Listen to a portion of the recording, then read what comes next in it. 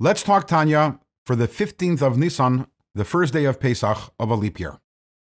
Over the last two days, we've spoken about the importance of developing a yira for God, an awe, a reverence for Hashem, and how important that is in our service of Him. And two days ago in the Tanya, we spoke about a meditation that we should be thinking about before we study Torah, before we do a mitzvah, thinking about how God is present, this great and incredible God who created everything and is within everything and beyond everything. And He is over here together with me, watching me, hoping, expecting, relying on me to do the mitzvah. And this is supposed to um, cause us to have that feeling, that feeling of yira, that feeling of awe and respect and reverence for God. But what if it doesn't? What if I contemplate and my heart is not uh, responding? What then? The Rebbe says, first of all, we mentioned yesterday that there's a separate mitzvah in the Torah of of serving God, of being a servant of God.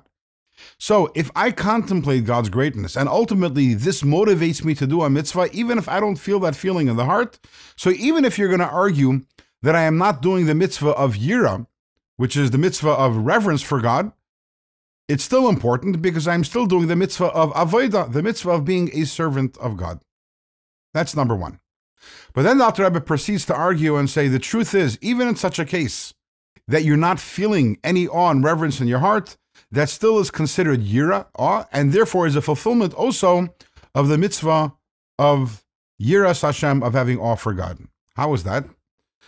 So to uh, to prove his point, the Alter Rebbe cites an interesting story in the Talmud. The Talmud tells us that one of the great sages of the Mishnah, his name was Rabbi Yochanan ben Zakkai, and he literally was the greatest of the great. He led the transition of Judaism from the time of the Beis Hamikdash to after the destruction of the Beis Hamikdash of the Holy Temple, because he was the leader at that time. Um, had a profound impact on Judaism till this very day. And as he's on his deathbed, he had a message for his students. He told his students, I wish that your fear of God should be on the same level as the fear that you have for your fellow human being. Now, the students were a little taken aback by that. They said, Rebbe, really? That's all? Our fear of God should only be on that level? He says, Yeah, think about it for a second. When you want to do something which is inappropriate, what do you say to yourself? ani adam. I don't want anyone to see me. But nevertheless, we when we're alone in the room, we don't say, but God is watching me. So Rabbi Yochanan said, he says, I wish that at the very least you should have that same respect for God, which means not to do something inappropriate in His presence, as the respect you have and the the yira that you have. That's the word that he uses. Kimoira basar adam, the fear that you have for your fellow human being. Now, when I don't want to do something inappropriate in the presence of someone else, is that a awe? Is that a reverence? Not really.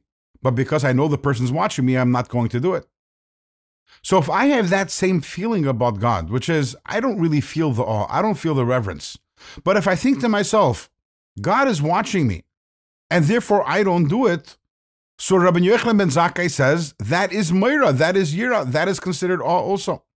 So even if I can't have that feeling in my heart, if I'm to think about the fact that God is present, and that thought is what stops me from doing something which God does want me to do, that also qualifies as yira, that qualifies as awe and reverence for God.